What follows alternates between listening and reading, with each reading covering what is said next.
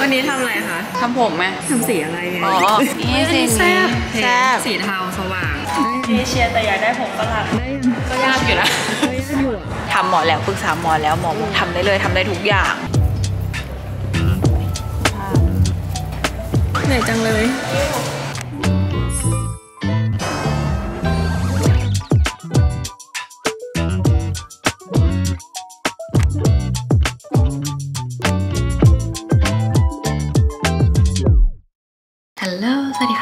กลับมาพบกับเพื่อนๆอีกแล้วนะคะ วันนี้นะคะก็จะเป็นบล็อกนะคะไปทำสีผมในรอบ 1 ปีนะคะ เพราะว่าไม่ทำสีผมมานานมากทำครั้งสุดท้ายน่าจะวันเกิดตัวเองเมื่อปีที่แล้วนะคะ แล้วก็ท้องพอดีก็เลยไม่ได้มีโอกาสได้ทำสีผมเลย ก็พอดีแหละตอนช่วงที่ไม่ได้ทำสีก็ให้ผมมันยาว ให้ผมใหม่มันขึ้นให้อะไรเงี้ยก็เลยพอมาถึงวันที่ได้ไปทำสีจริงๆอะก็คือได้ผมใหม่ เป็นผมใหม่ที่มันมีสุขภาพแล้ว ก็คือแข็งแรงพร้อมที่จะไปทำสีผมได้อะไรเงี้ยวันนี้ก็เลยจะพาทุคนไปดูบล็อกนะคะ ว่าเพื่อนเนี่ยไปทำสีผมอะไรที่ไหนกับใครนะคะ ก็ไปติดตามกันได้เลยนะคะหวังว่าทุกคนจะชอบนะคะ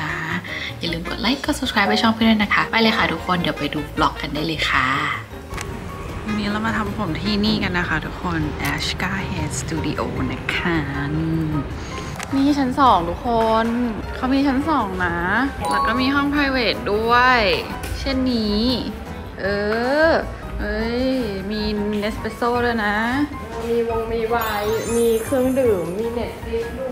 เออ เลิศน่ะ นี่แล้วเขาก็มีเตียงสระเลย เพราะว่าจริง ๆ บางห้อง private อะ ก็คือต้องเดินออกไปสระข้างนอก แต่อันนี้ก็คือมีเตียงส่วนตัวทุกอย่าง เลิศนะคะ เดี๋ยวไว้มาใช้บริการรอบหน้า นี่นะคะดีโซนโซนนั่งถือเพื่อนเพื่อนปีหนึ่งไงคุณบิวค่ะส วัสดีค่ะเขินทันทีเขินทันทีทำตัวไม่ถูกทันทีวันนี้ทำอะไรคะทำผมไหมทำสีอะไรไงอ๋อทำสีนี้นี่นี่เปิดให้ดู นี่สีนี้แซ่บสีเทาสว่าง บิวล่ะบิวทำสีอะไรน้ำตาลอ๋อมีเล็บด้วยเหรออายเล็บอะมีเล็บด้วยอยากดูเล็บปะกูคิดว่ากูเป็นใคร เอออยากแต่ดูว่าอยากบาลายานนะหรือว่าอ้าว หรือว่าแป๊บนึงนะคะ ทุกคนเขายังไม่ได้เขามาถึงสีร้านไหนทำผดีมอะเออ หรือว่าสีแบบอย่างเงี้ย มันคือบาลายาใช่ปะวะ ไม่ ต้องถามแมนไฮไลท์มันหรือว่าให้แมนนิดนึงงั้นให้มึงเลือกให้เลยละกันว่าอะไรเหมาะกับกูแต่มึงอยากฟอกใช่ไหมมึงฟอกได้ใช่ไหมฟอกได้ปะวะได้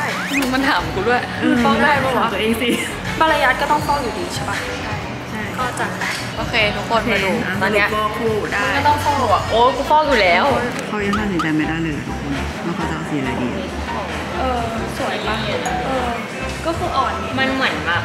มันออกของพร้อม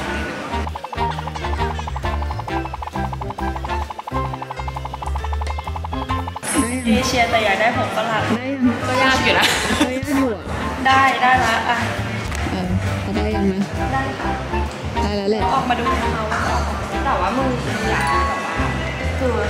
เว็บบางอันที่มันแ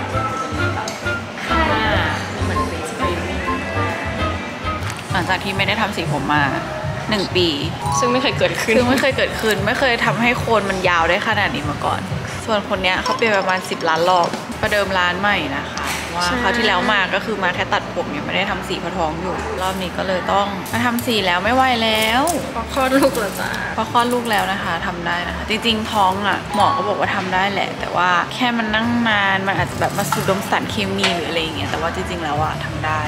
คือมันไม่ได้ซึมเข้าไปในเส้นใช่ มันไม่ได้ซึมเข้าไปหาลูก เออ มันเป็น false perception มากๆใช่ เอาที่ทุกคนสบายใจดีกว่า ใครแบบว่าให้นมลูกอยู่ แล้วก็ยังรู้สึกว่ายังไม่อยากทำก็อันแล้วแต่ แต่ว่าอันเนี้ยคือทำหมอแล้วปรึกษาหมอแล้วหมอบอกทำได้เลยทำได้ทุกอย่างเดี๋ยวมาดูกันว่าวันนี้จะทำออกมาเป็นยังไง แล้วก็จะกลับไปทรงผมทรงเอ้ยพูดอะไรเนี่ย ผมทรงเดิม ผมทรงเดิมแล้วนะ แต่ว่าต้องเลี้ยงก่อนใช่ไหมเพราะมันยังแบบไม่ซมีชออบยให้มีชอบให้เป็น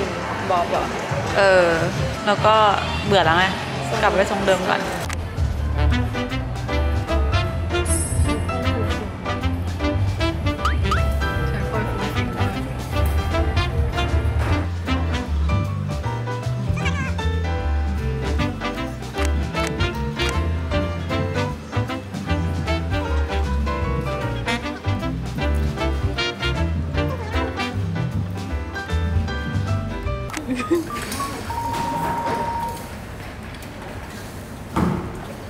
อาจุมาสวยมากฟุ้งฟิงฟุ้งฟิ้งเหลยเกินฟอยที่สวยอย่างเดียว ใช้งานไม่ค่อยดีเท่าไหใช้ร่งานไม่ค่อยได้แคบไปหน่อยแคบมากด้วยแต่สีน่ารักนะเออใครมาก็ไม่ต้องมองหาฟอยนี้นะทุกคนเออเพราะว่าซื้อมาแค่สองกล่อง ใช้ของเพื่อนก็หมดทั้งกล่องละ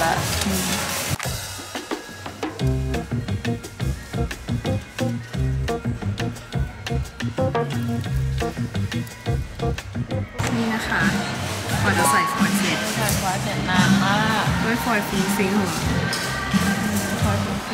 เพราะว่าฟอยฟุ้งฟิ้งไงเลยนาน จริง ปกติแป๊บเดียวนะเพราะผมสั้นเดี๋ยวเราจะทำไมต่อค่อยๆทยอยเอาออกแล้ว เอาออกแล้วเหรอใช่บางอันที่มันใส่ไปก่อนไงอ๋อมันกำลังจะเริ่มบวมแล้วใช่หนักปะหนักมากหนักปะยังไม่หนักมองแล้ว ไม่ค่อยเห็นเลยวิสัยทัศน์ไม่ดีพร้อมหูพร้อมหูก็ไม่ดี หูก็ไม่ได้ปิดที่เสียงดังๆคือปั๊มนมอยู่นะคะคืดคืดคืดคืดคืดคืดอันนี้กำลังถอดฟอยล์นะทุกคน เป็นขั้นตอนที่ไม่มีใครอยากทำเลย งงมาก ยากเลยจ้ะแล้วมันถอดแบบถอดถอดไปเลยไม่ได้เหรอ แล้วมันก็อาจจะแบบกระดำกระด่างเงี้ยเหรอก็จะกระหน่ำค่ะก็เลยต้องเอาทิชชู่มาแบบคัดๆนิดนึงอ๋อ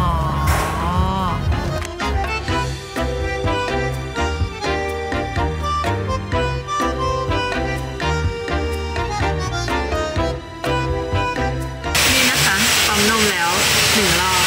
ได้กี่ซีซีวะไม่กล้าไม่กล้านานกว่านี้กลัวร้อยเกือบร้อยยี่สิบเออ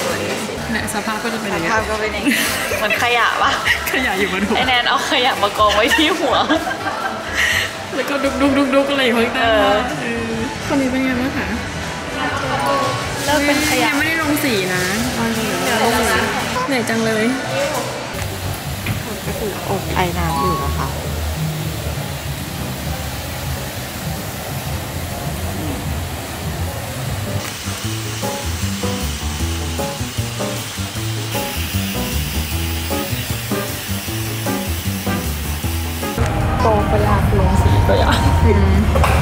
หมดถ่ายก็ยากเนี่ยถ่ายก็ยากไปหมดเลยชีวิตวันนี้กบนิดนึงอะเออคลิปเป็นไงไม่รู้นะ ตอนเนี้ยอาจจะมองไม่เห็นเราแล้วก็ได้ นี่คือลงสีเสร็จเราทำอะไรต่อก็เสร็จแล้วมันก็ตัดไงใช่ไหมเออใช่ตัดลืมไปเลย มาแล้วค่ะทำงานแล้วผมจะไม่แฟบอีกต่อไปแล้วเพื่อนกูยงมากตอนนี้ลิฟต์เริ่มหายหมด น้องๆก็คือไปกันหมดแล้วนะเสร็จ แล้วทุกคนตอนนี้กำลังพยายามเลี้ยงผมให้เท่ากันนะคะ เพื่อที่จะกลับไปเป็นทรงบล็อบบล็อบทรงบ๊อบแล้วนะ นี่ก็เลยตัดได้สั้นแค่นี้นะวันนี้ ประมาณนี้นะคะ สีสวยมาก เราเลือกเป็นสี ash gray นะคะ เป็น signature ash gray รอบนี้คือชอบมาก กลับมาเป็นคนเหมือนเดิมแล้วจากที่หน่อยมากเพราะว่าแบบโคนมันขึ้นเยอะมากใช่ไหมแล้วสีมันก็หายไปเยอะมากแล้วอะไรเงี้ยเดี๋ยวมาดูฟินิชลุกกันอีกทีค่ะ ทุกคนสบายผมมากแบบสบายหัว